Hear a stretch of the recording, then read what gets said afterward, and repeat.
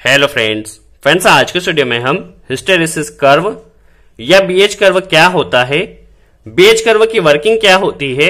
BH curve को use क्यों किया जाता है या इसकी एप्लीकेशंस क्या होती है, आज के स्टूडियो में हम सीखने वाले हैं। आज के स्टूडियो में हिस्टेरिसिस कर्व के बारे में सब कुछ काफ़ी आसान तरह से सीखने वाले हैं तो आप वीडियो को लास्ट तक ज़रूर वॉच कीजिए। चलिए वीडियो स्टार्ट करते हैं और सबसे पहले हम यह समझ लेते हैं हिस्टेरिसिस कर्व या बीएच कर्व को यूज़ क्यों किया जाता है? या इसके एप्लीकेशन क्या होती है? देखिए, कोई भी चीज़ सीखने से पहले हमें पता होना चाहिए उसे कहाँ पर यूज़ किया जाता है। तो जो बीएच कर्व या हिस्टेरिसिस कर्व होता है, इस कर्व के ज़रिए हम पता कर सकते हैं जब भी किसी फेरोमैग्नेटिक मटेरियल को किसी मैग्नेटिक फ़ील्ड में प्लेस किया जाता है तो उस फेरोमैग्नेटिक मटेरियल में क्या चेंजेस आते हैं या क्या परिवर्तन आता है, इसे हम बेसिकली हिस्टेरिसिस कर्व के ज़रिए पता कर सकते हैं। इसका सबसे अच्छा एग्ज़ाम्पल देखा जाए तो हम हिस्टेरिसिस कर्व से पता कर सकते हैं कि किसी भी मटेरियल में या किसी भी ट्रांसफॉर्मर में या मोटर में कितने हिस्टेरिसिस लॉसेस हो रहे हैं। उन लॉसेस को फाइंड आउट हम हिस्टेरिसिस कर्व के ज़रिए कर सकते हैं। किस तरह किया जा सकता है, हम वह भी समझ लेते हैं। उससे पहले जस्ट हम फेरोमैग्नेटिक मटेरियल क्या होता है, पहले यह समझ लेते हैं। देखिए, हमारे पास जो भी मैग्नेटिक मटेरियल होते हैं, वो तीन तरह के होते हैं। डायमैग्नेटिक मटेरियल पैरामैग्नेटिक मटेरियल और फेरोमैग्नेटिक मटेरियल जस्ट ओवरव्यू के लिए समझ जो डायमैग्नेटिक मटेरियल होता है।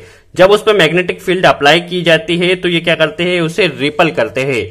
दैट उसे प्रतिकर्षित करते हैं डायमैग्नेटिक मटेरियल पर जब मैग्नेटिक फ़ील्ड अप्लाई की जाती है तो ये उसे रिपल करते हैं। पैरामैग्नेटिक जो मटेरियल होते हैं, जब इसके ऊपर मैग्नेटिक फ़ील्ड अप्लाई की जाती है तो ये उसे अट्रैक्ट करते हैं। बट इनकी जो इंटेंसिटी होती है, काफ़ी कम होती है। अट्रैक्ट ज़रूर करते हैं। वही जो फेरोमैग्नेटिक मटेरियल होता है, जब उस पर मैग्नेटिक फ़ील्ड अप्लाई की जाती है तो ये उसे काफ़ी स्ट्रोंगली अट्रैक्ट करते हैं। इसीलिए जो ट्रांसफॉर्मर की कोर बनाई जाती है, वह हम फेरोमैग्नेटिक मटेरियल की बनाते हैं। आई होप आपको क्लियर हुआ हो फेरोमैग्नेटिक मटेरियल क्या होता है। चलिए अब यहाँ से हम समझने की कोशिश करते हैं। हमारे पास फेरोमैग्नेटिक मटेरियल की कोर है आप इसे ट्रांसफॉर्मर की कोर भी समझ सकते हैं। या कोई भी फेरोमैग्नेटिक मटेरियल है। इसके ऊपर हमने वाइंडिंग कर दी और यहाँ से सप्लाई अप्लाई कर दी है।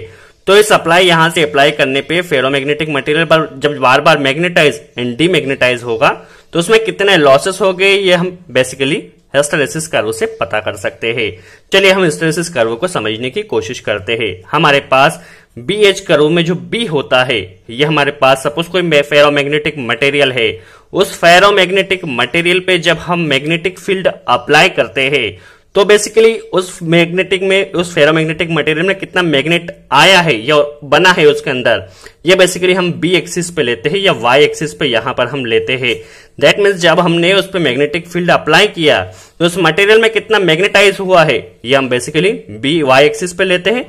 और जो एच होता है उसे हम एक्स एक्सिस पे लेते हैं। हमने उस मटेरियल के ऊपर कितनी मैग्नेटिक फ़ील्ड अप्लाई की है, यहाँ से कितनी मैग्नेटिक फ़ील्ड अप्लाई की है, वो हम बेसिकली एक्स एक्सिस पर लेते हैं। आप वीडियो को केयरफुली वॉच कीजिए, कोई भी स्टेप मिस नहीं होना चाहिए।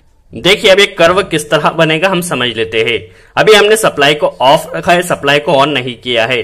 उस कंडीशन में क्या होगा मैग्नेटिक फ़ील्ड भी ज़ीरो होगी प्लस इस फेरोमैग्नेटिक मटेरियल पर जो फ़ील्ड अप्लाई होगी, वह भी ज़ीरो होगी। अब जैसे जैसे हम यहाँ पर मैग्नेटिक फ़ील्ड या इलेक्ट्रिक फ़ील्ड अप्लाई करते हैं, देखिए यहाँ से हम मैग्नेटिक फ़ील्ड जैसे जैसे अप्लाई करते हैं तो जो फेरोमैग्नेटिक मटेरियल होता है, वह भी मैग्नेटाइज होते जाता है। तो आप यहाँ पर देख सकते हैं एज हमारा यहाँ पर इंक्रीज हो रहा है, साथ ही साथ हमारा बी भी इंक्रीज हो रहा है। जैसे जैसे मैग्नेटिक फ़ील्ड बढ़ती जाएगी, वैसे वैसे जो मैग्नेट जो मटेरियल है, वह भी मैग्नेटाइज होते जाएगा। और एक कंडीशन या एक पॉइंट ऐसा आएगा, जिसके बाद जाने के बाद हमारा जो फेरोमैग्नेटिक मटेरियल है, उसमें मैग्नेटाइज होना बंद हो जाएगा। अब उसके बाद हम कितनी भी वहाँ पर मैग्नेटिक फ़ील्ड लगा ले एज को कितना भी बढ़ा ले, अब ये मैग्नेटाइज नहीं होगा। इसकी फुल लिमिट तक यह मैग्नेटाइज हो चुका है। तो यह जो पॉइंट कहलाता है, इसे हम सेचुरेशन पॉइंट कहते हैं। सेचुरेशन पॉइंट पर जाने के बाद हमारा जो मटेरियल है, वह मैग्नेटाइज नहीं होता है। यह उसकी फुल लिमिट होती है मैग्नेटाइज होने की। अब जैसे जैसे यहाँ से यदि हम मैग्नेटिक फ़ील्ड को कम करते जाते हैं या इसकी इंटेंसिटी को कम करते जाते हैं तो ज़ाहिर सी बात है, जब मैग्नेटिक फ़ील्ड कम होगी तो उसी के साथ साथ जो मैग्नेट जो मटेरियल है, उसका मैग्नेटाइज भी कम होगा या मैग्नेटाइज भी कम होगा। उस कंडीशन में आप पहले यदि हम डायपोल से समझे यदि हम सेचुरेशन पॉइंट पर डायपोल को समझे, किसी भी मटेरियल में कई डायपोल्स से मिलकर वह बना होता है। तो जब सेचुरेशन पॉइंट पर हमारा मटेरियल पहुँच जाएगा तो उस कंडीशन में उसके जितने भी डायपोल होंगे, उसका शेप इस तरह से होगा। देखिए, सभी की डायरेक्शन एक तरफ़ होगी। देट मीन ये पूरी तरह से मैग्नेटाइज हो चुका है। अब हम कितना भी मैग्नेटिक फ़ील्ड लगा ले, उसमें कोई भी परिवर्तन नहीं होगा। अब जैसे जैसे हम मैग्नेटिक फ़ील्ड को कम करते जाते हैं तो मटेरियल की जो मैग्नेटिक कैपेसिटी होती है, वह भी कम होती जाती है। देखिए, यहाँ पे कम होती जाती है। अब यहाँ पर हम देखते हैं कि जो मैग्नेटिक फ़ील्ड है, यहाँ पर हमारी मैग्नेटिक फ़ील्ड बिल्कुल ज़ीरो हो चुकी है।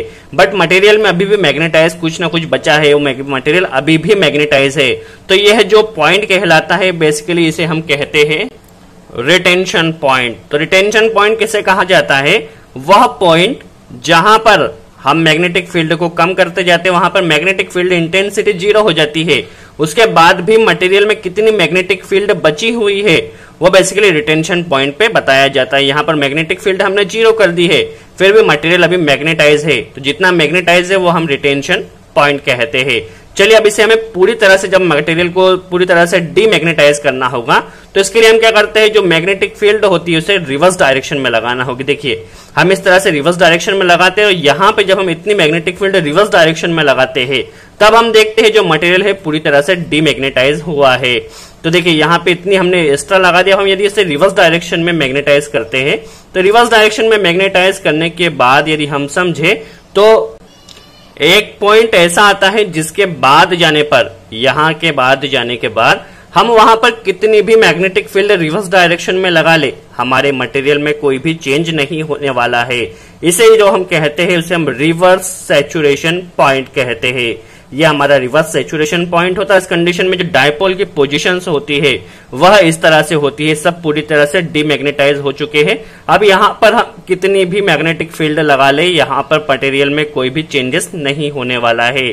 अब यदि हमें उसे फिर से मैग्नेटाइज करना है तो यहाँ से यहाँ तक लाना होगा। देखिए, यहाँ तक हम इतनी मैग्नेटिक फ़ील्ड को पॉजिटिव डायरेक्शन देखिए, यहाँ तक ला रहे तो यहाँ पर हम देखते हैं कि जो मैग्नेटिक फ़ील्ड है, वह पूरी तरह से ज़ीरो हो चुकी है।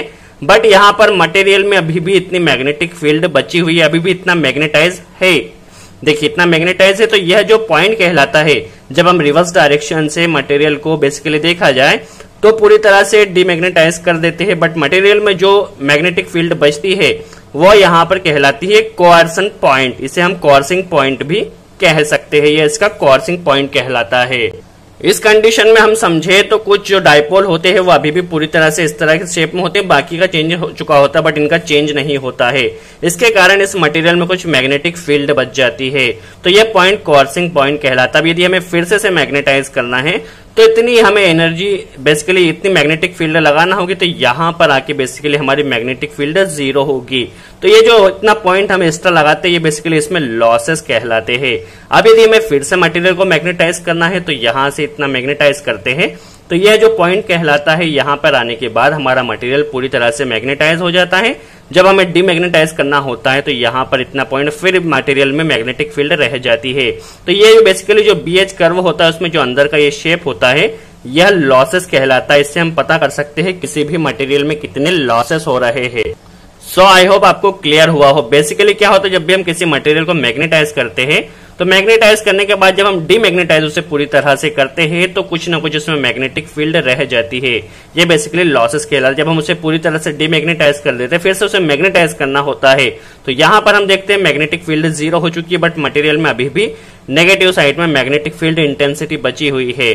तो ये क्या होता है? लॉसेस होता है। बेसिकली जो ट्रांसफॉर्मर होता है ट्रांसफॉर्मर को भी जब हम बार बार मैग्नेटाइज एंड डीमैग्नेटाइज करते हैं तो उस ट्रांसफॉर्मर की जो वाइंडिंग होती है, वह गर्म हो जाती है और हीट के फॉर्म में वहाँ पर काफ़ी एनर्जी का वेस्ट होता है। जो कि हम बेसिकली यहाँ पर इस बी एच कर्व के ज़रिए पता कर सकते हैं किसी भी फेरोमैग्नेटिक मटेरियल में कितना लॉसेस हो रहा है। जब भी हम किसी मशीन को परचेस करते हैं तो हमें उसका बी एच कर्व ज़रूर देखना चाहिए। यदि किसी मशीन का बी एच कर्व कुछ इस तरह से दिया गया है और दूसरी मशीन उसका बी एच कर्व कुछ इस तरह से दिया गया है तो हमें जिसका बी एच कर्व कम हो, उस मशीन को परचेस करना चाहिए क्योंकि उसका लॉसेस कम हो गए यदि बी एच कर्व का शेप यहाँ पे ज़्यादा है तो उसमें लॉसेस काफ़ी ज़्यादा होने वाले हैं। सो आई होप आपको क्लियर हुआ हो हिस्ट्रेसिस कर्व क्या होता है बीएच कर्व क्या होता है, इसे किस तरह बनाया जाता है, इसकी क्या एप्लीकेशन होती है तो किसी भी बीएच कर्व से हम पता कर सकते हैं। फेरोमैग्नेटिक मटेरियल में मैग्नेटिक फ़ील्ड लगाने पर उसका बिहेवियर क्या है, या उसमें कितने लॉसेस हो रहे हैं, ये हम बेसिकली हिस्टेरेसिस कर्व से नॉन कर सकते हैं कि उसमें कितना हिस्टेरेसिस लॉसेस हो रहा है। सो आई होप आपको क्लियर हुआ हो। यदि वीडियो अच्छा लगा हो तो लाइक का बटन ज़रूर प्रेस कीजिए। सो आज के लिए इतना ही। थैंक्स